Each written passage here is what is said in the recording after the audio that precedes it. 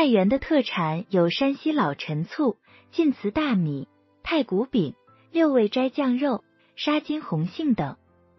山西老陈醋是中国四大名醋之一，已有三千余年的历史，素有“天下第一醋”的盛誉。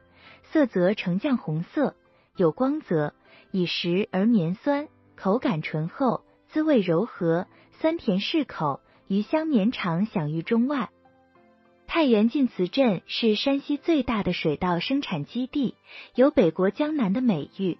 所产的晋祠大米和天津小站大米同被列为华北名产。米的颗粒长，个头大，外形晶莹饱满，煮熟后颗粒分明，吃到嘴里香甜有韧性。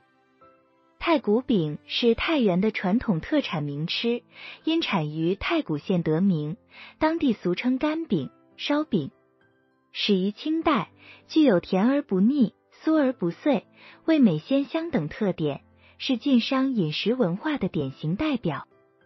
六味斋是太原的一家百年老字号，其所产的酱肘子曾经是清朝的御前贡品，具有瘦而不柴、肥而不腻的特点。除了酱肘子外，还有酱肉、酱肘花、杂拌、香肠、蛋卷等品种。扎金红杏是太原清徐县的特产，种植历史已经有一千二百多年。